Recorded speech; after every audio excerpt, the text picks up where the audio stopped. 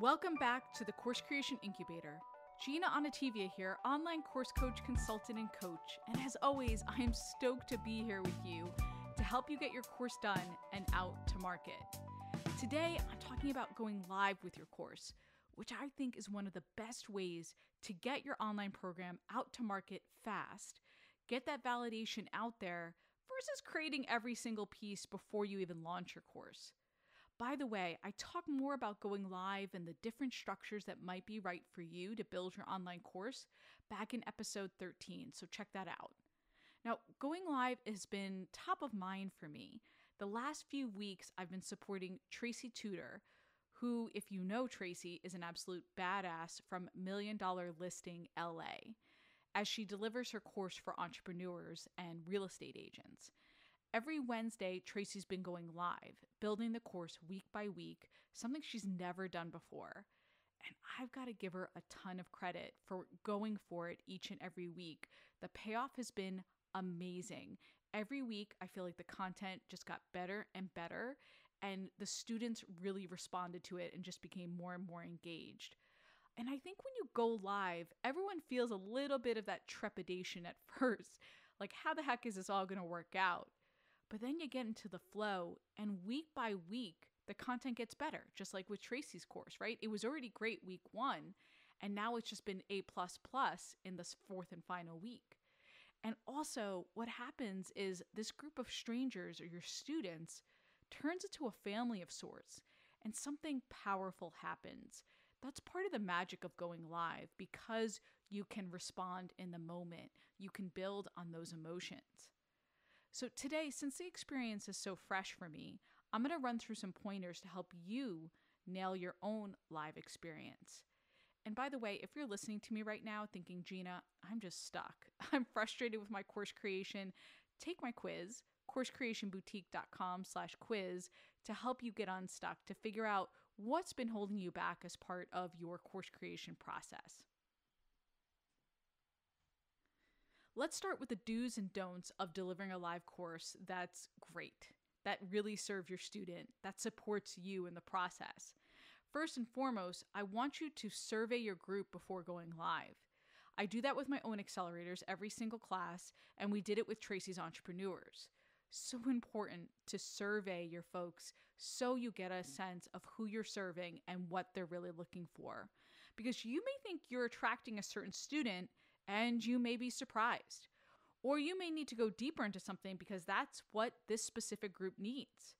In my last class of accelerators, for example, I leaned more into validating their course ideas because they asked for it.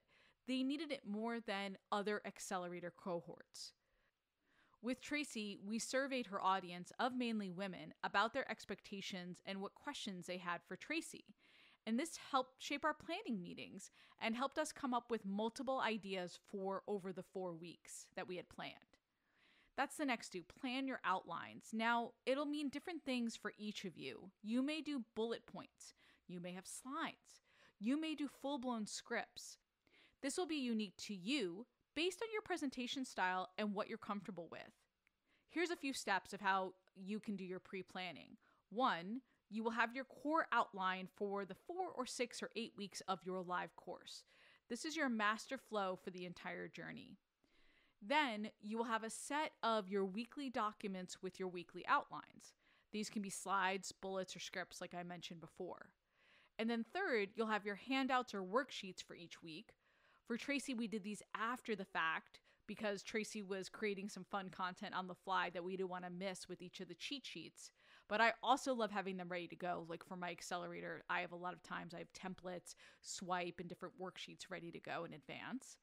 And then the fourth component, you'll have your updates for each week. What comments and questions came up? What additional content pieces might you need to add for the following week or for a future week in terms of your live course? Overall, you want to keep your content fluid. That's part of the fun of going live. You can change it up on a moment's notice, add stories of what just happened or how a student was impacted the week before. Someone in Tracy's course had given a cancer update because she had positive news, and we all shared in that. We all got excited for her. That's the kind of magic that happens during a live course. Now, going back to that first piece of pre planning, you want to make sure you're following your core outline so you stay on track to deliver that course promise and, of course, the transformation. It's easy to maybe go on tangents based on what your students ask or what they need more of, but don't get too off track because you don't want to have two weeks left of your six week program and you can't deliver the transformation based on what you had previously planned. Questions and comments have definitely impacted how we shaped Tracy's course. For example, back in week one, we had a question about Tracy's beauty routine, and we were able to incorporate it into her week four content like really nicely. And also in week four, some really vulnerable and personal details came up, and Tracy got vulnerable, and it was just amazing. The students loved it and appreciated it. And I just think because we went with the flow, because we were flexible and kept it open, we had moments like that. Okay, so now that we've talked about content, let's chat about something that is so important, equally important when you're going live constant communication. Do over communicate. Over communication is so key. Nail down your details as specifically as possible and be consistent. For example, we were going live every Wednesday at 11 a.m. Pacific on Zoom. You will get access to your member area later that night. If you have a separate community, like I do with the accelerator, then give them details about how to sign up for that. Put those details in the emails, post in your Facebook group, and inside of your member site. Put it multiple places inside of your member site because you don't know where they might look, where your student might check it out. Post those details in the emails, in your Facebook group, inside your member site, multiple areas inside of your member site, right? So for us, it's Kajabi. And there's no such thing as too much communication. I think sometimes we get this wrong like, well, I've already communicated this once or twice. Let me tell you, especially when you're starting out, people get bombarded with emails, right? And posts and social media. You have to rise above the noise. Even though they've invested in you and they've put down their money, you've got to rise above the noise so they know what to expect from you. There's no such thing as too much communication. If I leave you with nothing else, remember that.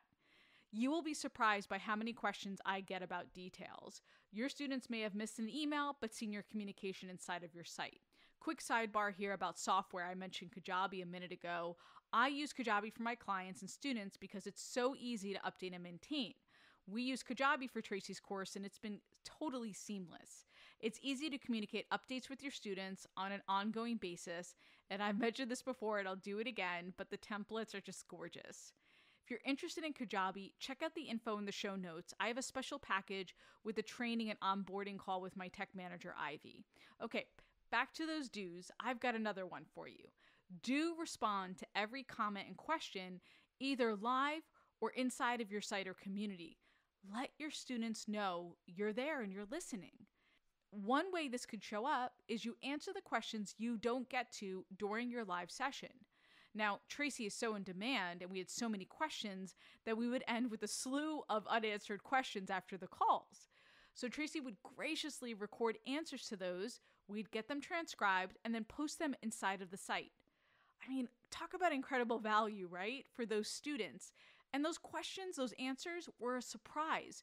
We didn't tell students, hey, Tracy's going to record these afterward for you, so stand by. It wasn't an expectation, it was a really nice surprise. All right, let's switch gears to our don'ts, or really areas not to sweat as much when you're going live. First, don't sweat the delivery too much. Now, I want you to practice and prepare. I talk about Bo Eason all the time. If you want to really deliver for your students in terms of your videos and going live, check out Bo Eason. The beauty of going live, though, is not sweating the small stuff as much. Now, I say this, and the last time I delivered a live course, I did have a bit of a hiccup. The night before I was starting with my fall accelerator, I got food poisoning, like violently ill food poisoning. I felt awful. I reach out to Megan O'Leary, who you all know from last episode, where she walked through how to boost our nurture email rates. And Megan said it won't be perfect, but you can muscle through for an hour and still deliver tremendous value. And that's exactly what I did. I muscled through because that's what we do as course creators, right? Especially when we're going live, because I knew I had that commitment. And as miserable as I was to deliver that live, I was grateful that I had that commitment, that I had that date on the calendar. And I didn't want to move it. My students were ready to go, and I was ready to deliver for them. And again, it was important to be consistent with what time we were meeting. Now, changing that first call would have thrown my accelerators off, I feel like, for the rest of the course. So don't worry too much about the delivery if you are delivering amazing value. Your students will forgive a lot if that content is truly valuable for them. Here's another don't to think about don't worry about flashy slides. Tracy delivers without slides, so does Bo Eason, who I mentioned a few minutes ago. I have several accelerators from the School of Bo, and they don't deliver using slides either. Instead, they focus on their delivery and really connecting with their audience with the content that they have. If the thought of creating slides gives you hives, then you deliver and connect with them straight direct to camera. And then you can create comprehensive PDFs to go along with the information you share live. Or if it really is just about the creation, you can hire someone or pay for a simple software like Canva, which makes creating slides so much easier. But again, don't sweat it. You can go live without slides.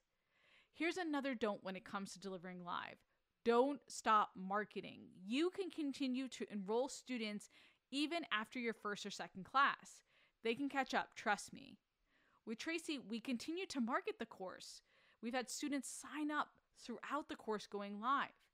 They jump into the site, watch what they missed, and they're ready to go. This especially works when you have a course with topics that don't build on each other week to week. But even if you do build week to week, don't worry about it. They'll catch up. Go ahead and keep marketing. One final don't don't stop here. Your live course is just the beginning.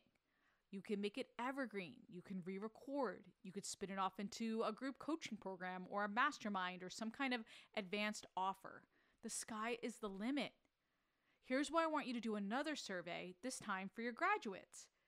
There's another do. Do survey again. What did they love? What can you improve upon? What are they looking for as the next step from you? Then you could take that feedback and create the next step that really serves your students and you. Okay, hopefully I got you excited about going live and you see some of the magic that happens when you go live with your students. And if you have any questions about anything I mentioned in this episode or how to put your quiz results and those tips into practice, send me a DM on Instagram at Course Creation Boutique and we can chat. Next week, you and I are talking money and specifically how to treat your course creation like a real business. I'm going to bring on Tina Tower out of Sydney, Australia. And let me tell you something this lady knows her course creation. She's going to give us all the details about how you should be breaking down your budgeting and expenses when it comes to your course creation and marketing. And she is straight to the point and right on target. You are going to love her in this episode. Make sure you like, rate, and review Course Creation Incubator wherever you listen, and please subscribe so you don't miss my interview next week with Tina. Until then, go live and go create. Be you and be brilliant and get it done.